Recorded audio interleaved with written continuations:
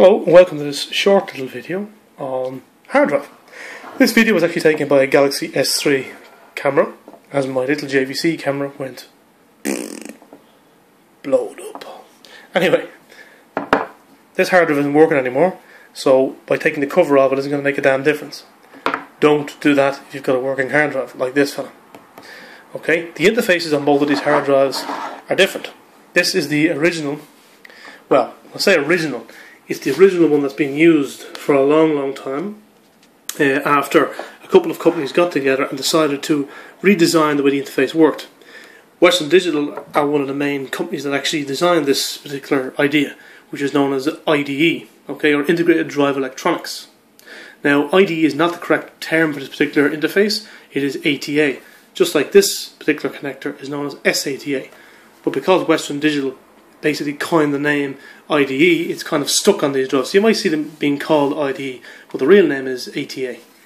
Um, the original hard drives basically were just a physical hard drive with two two actual data cables coming out of them into a separate interface card. So the actual integrated part of the board was actually contained off board uh, in the computer itself. So Western Digital come up with this, they integrated the electronics to actually control the hard drive and the data in and out of the hard drive on the board which is now on it, hence IDE.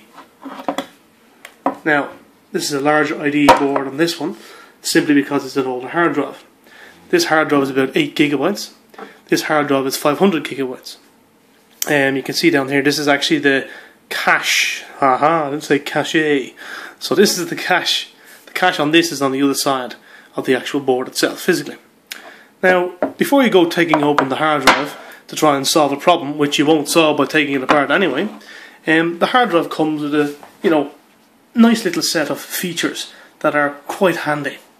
Um, the hard drive itself uh, is physically broken up uh, by either a FAT16 or FAT32 or NTFS, uh, or the new file system that Windows 7 and 8 basically use for larger hard drives. The FAT stands for File Allocation Table, the 16 part or 32 part indicates the amount of bits that are used to actually encode the data. Therefore, 32 bit is able to take those longer file extensions, 16 isn't. 16 is generally used for everything up to Windows 95. Uh, after that, unless you have version C, FAT32 is used from 98 on, and then you've got XP in that which uses NTFS. Now we'll explain NTFS in another video, not in this one. This one we're going to talk about the hard drive. So, what are the main components of the hard drive? The main component is the actual platter itself, which is made of an aluminium. So I'll just give you a little sound effect. Okay. The next component is the actual uh, little armature here. Okay. So what you have on the end is a little head. Now the head itself doesn't actually touch the platter. It's about 10 nanometers above the platter. That's why you should never open the hard drive, as the dust itself can actually cause the head to collide with the disk, and therefore you can't read the data anymore. The other components are uh, a voice coil inside here, uh, along with a, a, very large magnet, as you can see here.